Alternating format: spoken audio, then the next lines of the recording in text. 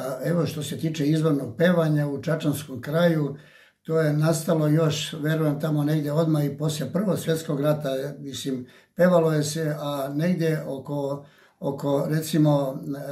drugog svjetskog rata i poslije toga bile su poznate grupe Stari pomeljari iz Mrčajevaca, kasnije su bile pevačke grupe Jeličanke, a onda i dosta Ljubičanke, zatim su moje folklorno društvo imalo organizovalo izvorne grupe kao što su bili raspevni šumadinci, biseri šumadije, ženska izvorna grupa. Uglavnom u tom našem pevanju je bilo da se peva na bas. I prvi solista počinje da peva, a ostali pevaju u glas ili basiraju.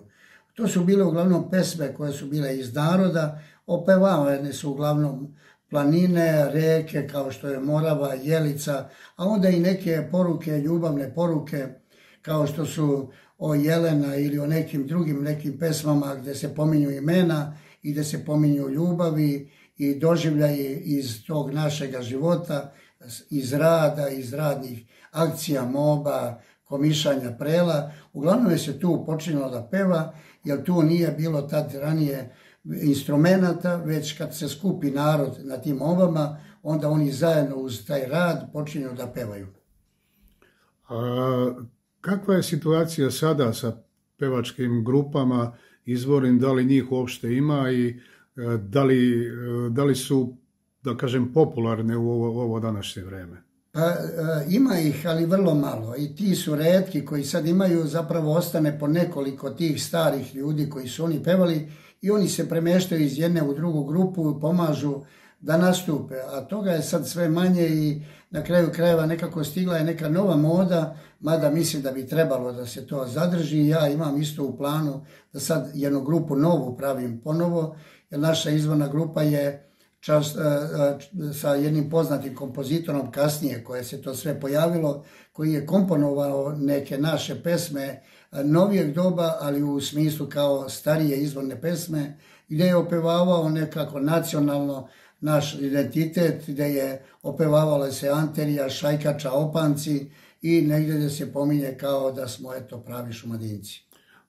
Kako su izgledale pevačke grupe? Da li je to bila ženska grupa, muška grupa ili mešovita? Malo da o tome. Da, da. Pa eto, negdje su imali recimo kao što su stari pomeljari iz Mrčevaca, to je bila mešovita pevačka grupa. Zapravo bilo je nekoliko muških, nekoliko ženskih izvođača, dok Jeličanke, one su bile samo pevačka grupa, ženska pevačka grupa,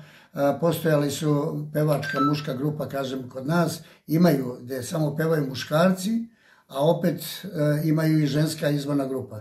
Uglavnom, e, zavisi iz kog mesta dolaze i kako su imali tih ljudi koji su voljeli da peva i kako su bili zainteresovani, ali kažem, opet sve je to počinjalo od nekog udruženog rada, od tih prela i moba. Tu obično dođu, to su bile manje, su ta bila domaćinstva, manje kuće i dođe komšiluk po tri, četiri žene, onda naravno dođu i njihovi ljudi, onda tu počne pesma od četiri žene i četiri čoveka, nadpevavanje, bilo i toga, da peva šta to radiš Maro ili imalo tamo raznih tih nekih pesama gdje se odgovara na, na to pevanje.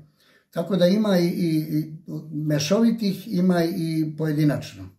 A pošto ste vi, da kažem, više decenijski a, poslanik folklora u poznat u ovom kraju,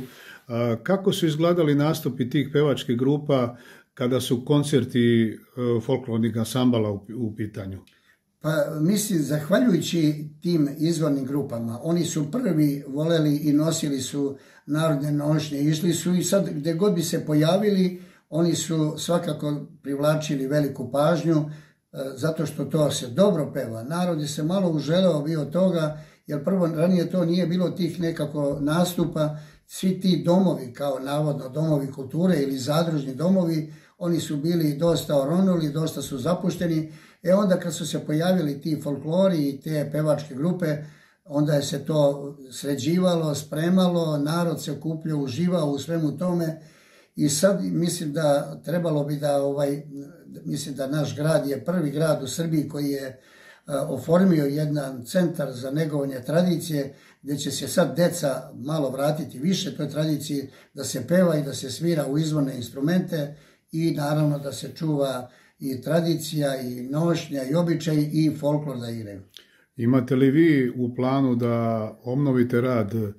pevačke grupe Kulturno-umečko društvo Fabrike Rezdog Alata i kako će to izgledati ukoliko, imate plan da to uradite? Ja već od nove godine imam u planu, tu imaju određeni ljudi koji njih vuče nostalgija za tim pesmama i oni su još iz nekog doba gdje su doživjeli takve neke lepe scene, oni sad hoće da počnu da pevaju i tako da ćemo mi već od nove godine imati jednu grupu pevačku mušku, a i naravno žensku, dok još imamo tih solista koje znaju veliki broj pesama, tih starih izvornih, tu ćemo uključiti malo i nekih mlađih, da, da oni mogu da uče i da nastave to.